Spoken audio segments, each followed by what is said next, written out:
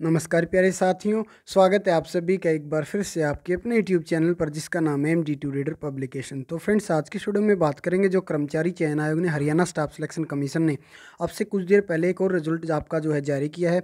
Notice to candidate for scrutiny of document for E S P eligible sports candidate group D post advertisement चार दो हज़ार अठारह के तहत, जो ई एस पी की आपकी वैकेंसी थी।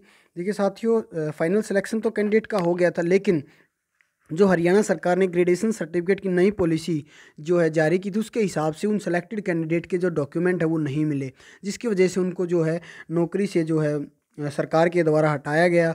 अब जो है उन वैकेंसीज़ को फिल करने के लिए दोबारा से आयोग ने जो है नए कैंडिडेट के जो है स्क्रूटनी ऑफ़ डॉक्यूमेंट के लिए सिलेक्ट किया है। तीन दिन या चार दिन में कह सकता हूँ, दो मार्च से लेकर और पाँच मार्च या आपकी स्क्रूटनी ऑफ़ डॉक्यूमेंट या कह सकते हैं डॉक्यूमेंट वेरिफिकेशन होगी। सेक्टर पाँच, परेड ग्राउंड पंचकुला के अंदर। तो अलग अलग दो मार्च को रोल नंबर अलग दिए हुए हैं जिनके रोल नंबर दो मार्च वाली लिस्ट में उनको दो मार्च को जाना है। जिनके तीन मार्च वाली में तीन मार्च इसी प्रकार से चार और पाँच वाइस वर्षा इसी प्रकार से आपको जाना है। फिर रिमाइंड करा रहा एडवर्टाइजमेंट चार दो हज़ार अठारह है, पोस्ट का नाम ग्रुप डी है और ये जो रोल नंबर है सिर्फ़ ई एस पी कैंडिडेट हैं, एलिजिबल स्पोर्ट्स पर्सन के ही ये कैंडिडेट हैं और जो नई पॉलिसी आपकी हरियाणा सरकार की आई है, उसके तहत आपके जो सारे डॉक्यूमेंट हैं, ग्रेडेशन सर्टिफिकेट सारे वो होने चाहिए, अदरवाइज़ फिर से आपको जो है रिजेक्ट किया जाएगा या फिर आपको फर्दर मेरिट के लिए कंसीडर नहीं किया जाएगा। तो डेट ऑफ़ स्क्रूटनी है। डॉक्यूमेंट की दो मार्च को ये जो रोल नंबर आप देख रहे हैं ना, इन सभी को दो मार्च को जो है परेड ग्राउंड सेक्टर पाँच पंचकूला पहुँचना है। उसके बाद दो मार्च को एक कैंडिडेट है, उसके बाद फिर तीन मार्च की लिस्ट है।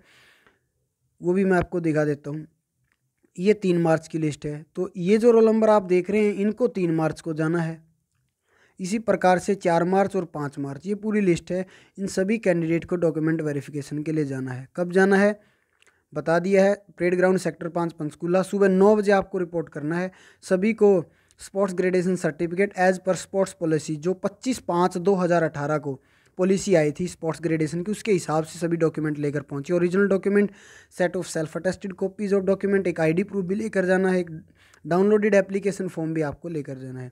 All above mentioned candidate shall also submit relevant document in support of their claim of socio economic benefit तो सोशियो इकोनॉमिक जो बेनिफिट अगर आप लेना चाहते हैं, उसके भी सभी डॉक्यूमेंट आप वहाँ पर सबमिट करें, तभी आपको इस चीज़ों का बेनिफिट होगा। तो एक अपडेट थी फ्रेंड जो आपको देनी थी आज की इस वीडियो में। फ़िलहाल इतना ही, धन्यवाद।